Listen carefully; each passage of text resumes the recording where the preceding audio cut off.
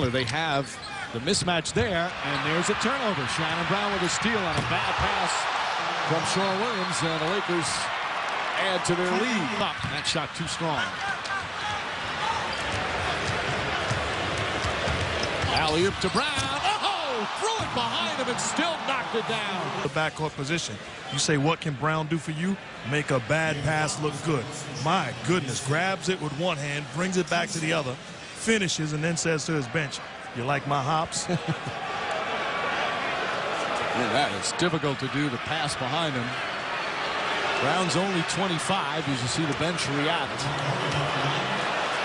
Two shots. Gallinari lost the ball.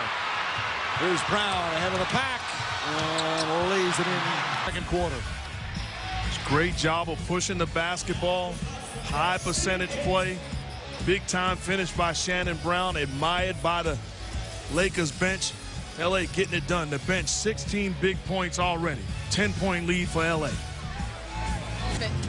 He's scary. I mean, you know, his, his jumping ability and his power. I mean, that's that's some frightening stuff right there. Conference City just their ninth loss of the season.